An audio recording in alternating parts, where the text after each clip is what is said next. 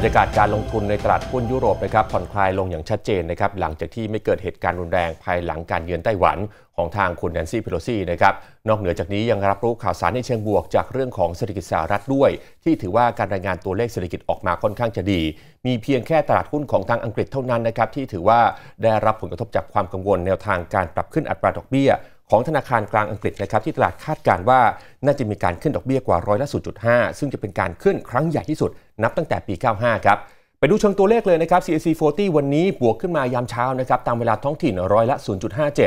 ดสของเยอรมนีนะครับบวกมาเกือบเกือบ1%นะครับขณะที่ฟุตซี่ร้อยกังวลเรื่องดอกเบี้ยแหละครับวันนี้ติดลบไปร้อยละ0เอ่อ0.24 ครับมาดูที่ตลาดหุ้นเอเชียบ้างนะครับบรรยากาศการซื้อขายวันนี้ครับส่วนใหญ่ปรับตัวบวกขึ้นมาได้นะครับยกเว้นตลาดหุ้นของไต้หวันนะครับ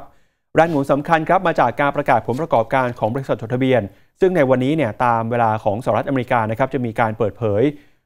ผลประกอบการของอาลีบาบาด้วยนะครับแต่วันนี้ราคาหุ้นอาลีบาบาก็ปรับตัวบวกล่วงหน้าไปแล้วครับมาดูดัชนีกันนะครับ วันนี้ดัชนีนิกเกอิ 225 ของญี่ปุ่นบวกขึ้นมาร้อยละ 0.69 เซี่ยงไฮ้ Composite ของจีนบวกขึ้นมาร้อยละ 0.8 แล้วก็บริษัท tech นะครับเข้ามาหนุนนำตลาดหุ้นฮ่องกงบวกขึ้นมาร้อยละ 2 ครับ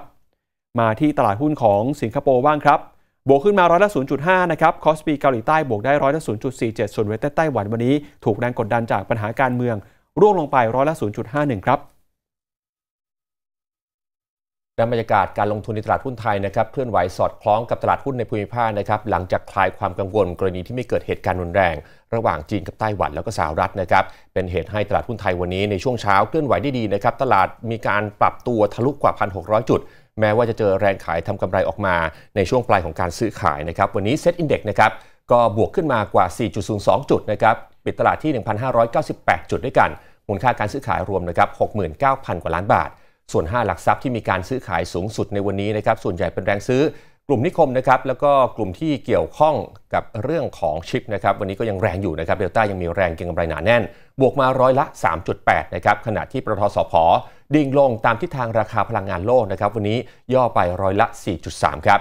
ขณะที่ตลาดหลักทรัพย์ MAI นะครับวันนี้ความเคลื่อนไหวก็สอดคล้องกับเซ็ตแล้วครับบวกมาแรงกว่านะฮะ10.25 จุดด้วยการปิดที่ 609 จุดด้วยกันนะครับ แล้วก็มูลค่าการซื้อขายรวมหนาแน่นทีเดียวครับ 5,089 ล้านบาทครับ มาดูราคาสินค้าโภคภัณฑ์บ้างนะครับ วันนี้ราคาทองคำปรับตัวบวกขึ้นไม่ได้หลังจากค่าเงินดอลลาร์อ่อนค่าไปนะครับตัวเลขล่าสุดครับซื้อขายกันอยู่ที่ 1,790 ดอลลาร์ต่อทรัลล์บวกขึ้นมาถึง 14 เหรียญด้วยกัน ส่วนที่ทางของราคาน้ำมันนะครับถูกกดดันจากประเด็นนะครับเรื่องของความต้องการใช้น้ำมันที่อ่อนแอสต็อกน้ำมันเพิ่มขึ้นมามากกว่าคาดจากฝั่งสหรัฐอเมริกาทำให้ล่าสุดราคาน้ำมันนะครับปรับตัวลงมาอย่างต่อเนื่อง ราคาน้ำมันดิบสหรัฐนะครับ 90 ดอลลาร์ ส่วนราคาน้ำมันดิบเบรนท์ของอังกฤษอยู่ที่ 96 ดอลลาร์ ติดลบไปร้อยละ 2 ถึงร้อยละ 3 ครับ 0.2 ถึง 0.3 นะครับ ขอบคุณที่ติดตามรายการ TNN รู้ทันลงทุนนะครับ และอย่าลืมกด subscribe กดกระดิ่ง กดติดตาม กดไลค์ กดแชร์ และติดตามรายการของเราทุกช่องทางออนไลน์ แล้วคุณจะไม่พลาดทุกคลิปวิดีโอดีๆ ไปจนถึงรายการสดคุณภาพจาก TNN ช่อง 16 ครับ